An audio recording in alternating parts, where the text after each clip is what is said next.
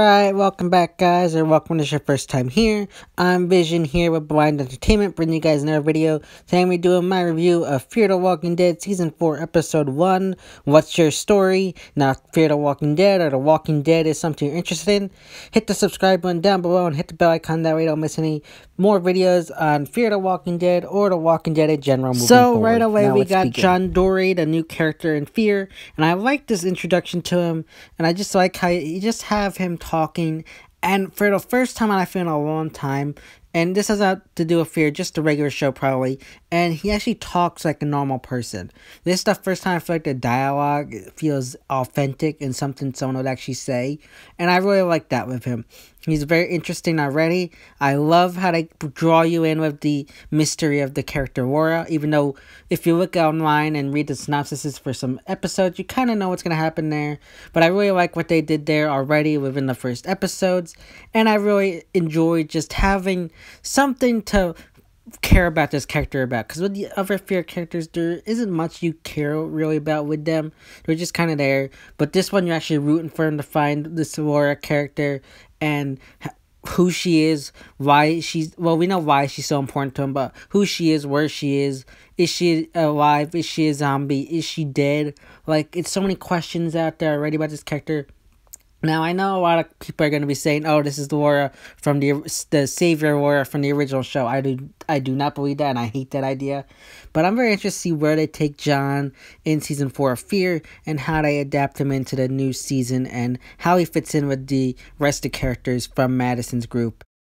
So then we get a flashback to what led Morgan to to Texas, and this is like I said in the Walking Dead review for the finale this felt very much forced. Because I like what they did where you had Jesus, Carol, and Rick being in this in fear, and I really like what they did there. However, the talks never really confirmed why Morgan left.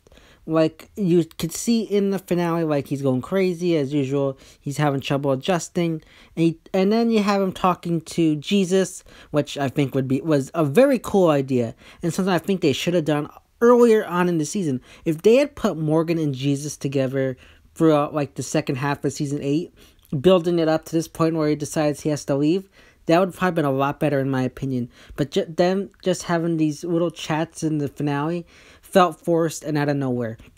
And I wish they had capitalized on their relationship in the second half of season eight but whatever. But I like how you got him in the junkyard and them coming to talk to him. And then it just felt like out of the blue, he just gets up one day and leaves the junkyard and just starts running and heads to Texas. It's like, okay, why are you running and leaving the area? It's just like it doesn't make any sense to me. I, I wish we had gotten a little bit more a little bit more development as to why he left. What made him like we know like he's crazy can't be by people. But other than that like what's the big reason why he left? Like it does it just feels like there's a hole in the plot where it's like where did, why did he leave? But other than that i really did enjoy it and i'm interested to see where they take him this season.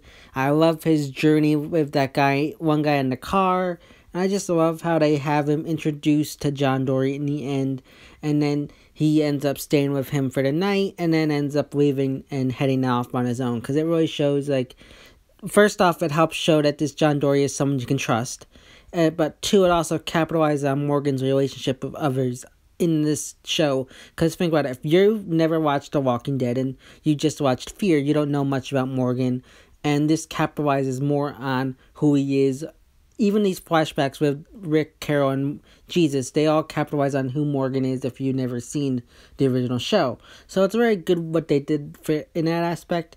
And even though I wish they kind of shown why he left, I am happy with what we got and how he got to Texas uh, in a whole, pretty much. So yeah, like I said, Morgan gets leaves John Dorie's camp and ends up in some trouble with the, with this group of bandits. And John shows up and rescue tries to rescue him, but he ends up being captured by them. And then the two of them are like pretty much sentenced to death by these group of bandits led by this guy Leland. However, they are saved by this girl named Althea who shows up in this weaponized like truck, and she saves them and I really like this character Althea already.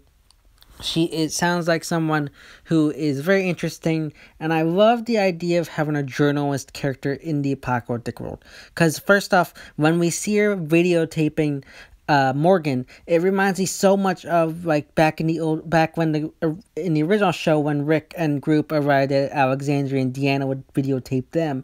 It reminded me so much of that. And if if Althea ends up joining Madison's group and staying a permanent survivor in that group, I think it's such a brilliant idea to have these tapes, and it was just like remember like kind of like having the tapes at Alexandria, like having these reminders of who these people are, how this place came to be. I love that idea. And then the second part of the journalist uh, aspect I like is the idea that we this Fear the Walking Dead took a giant time skip since we last saw them. Last we saw them, they were half the group was missing, and Madison was only one alive. So it will give us a reason to know what's happened to them. Uh, her, this Althea asking each of them, like, what's your story, is a way of filling in the blanks of what went on with our group from the time we seen them last in season three to the, this point right now. So I really like that aspect, and I'm very interested to see where they take this character further on in this story, she seems like a very good and capable fighter. So I'm very interested to see what they do of her. Is she going to be a fighter or is she going to be someone more, maybe like a Hershel or something? Because I could see her going in that aspect too, along with John Dorie. One of them I feel like could be like a Hershel in the, in the TV show, in the show. But I think I would probably aim more towards maybe John in that aspect, but I'm not sure. But I'm very interested to see where to take both John and Althea in season four of Fear. Moving on to the rest of the episode, I really like what they did with the season four premiere. It was very good, very interesting characters to start off with, and I like how you got Morgan, Althea, and John Dorie as these this trio of like heroes meeting up with our Fear group. I really like that. I think the one con that I probably have with this episode is the villain group, and the only reason I feel like that is the biggest bad, big worst part about it, other than like the whole Morgan thing feeling rushed, is that I feel like the villain group didn't necessarily need to be there. I feel like they just felt like they needed to have a antagonist in this episode, and they just threw this guy in, and it just didn't gel right in my opinion. It felt like they like I said, they just needed someone and they just plopped them in there. And it I, like I I don't even totally remember what his main motive was. Was to get Althea's truck? If that's it, then okay. But it just didn't do much for me. It just kind of felt a little forced, like I said. But you know what? For what we got in the premiere, it's pretty good.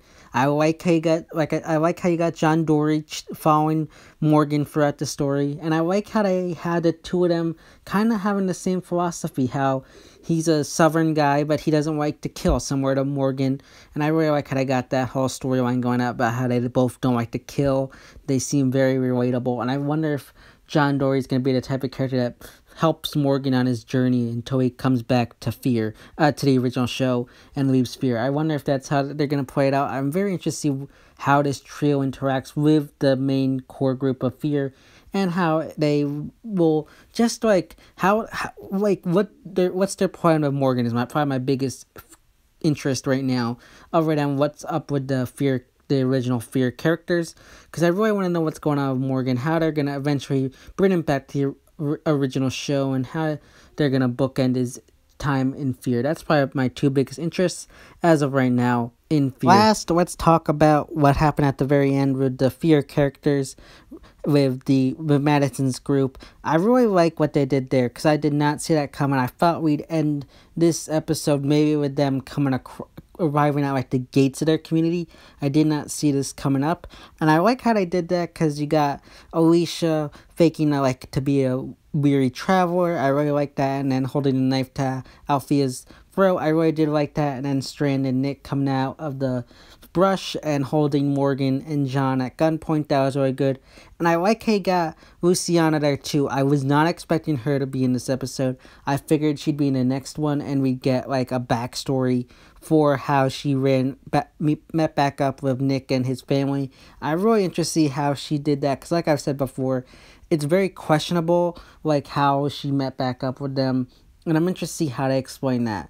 And I'm wondering, uh, still, I'm very much wondering where is Daniel. I really hope they brought him back because that is something that's really bugging me right now. I want Daniel in this season, and if he's not in, I'm gonna be very disappointed. And as much as I do enjoy Fear, and I still think it's not as good as the original show. I do much enjoy it, and if Daniel's on it, I'm gonna enjoy it a lot less if he's killed off in a very weak way, either during like the time skip or in a flashback. He deserves the death that's in the show right now. I don't want it to be through flashbacks or if it was during the time skip. That just really annoys me because he was like one of my favorite characters that I was actually rooting for. But I really love what they did at the end. And I like how they had Althea asking Alicia what her story is. I really like that. And like I said, they're probably going to use her to explain to us what happened to their characters since they last left them off in the end of season three. So I'm very interested to see where they go with this story and how and see what the background of the, our our fear characters like Strand, Luciana, and, and Madison's group uh, is because I'm very interested to see what happened to them. That's probably one of the biggest burning questions I have next to the Morgan stuff. Like I said, so I'm very interested to see where they go moving on throughout the season of Fear. And it's probably the most excited I've been because there's so many open ended questions that need answering, and I'm just interested to see what the answers to these questions are and how they explain everything throughout the season of fear. So yeah, guys, that's my review of Fear the Walking Dead, Season 4, Episode 1. What's your story? If you like this video, give it a big thumbs up and share. And Don't forget to subscribe down below and hit the bell icon, that way you don't miss any future videos on Fear the Walking Dead moving forward. This has been Vision here with Blind Entertainment, and I will see you next time.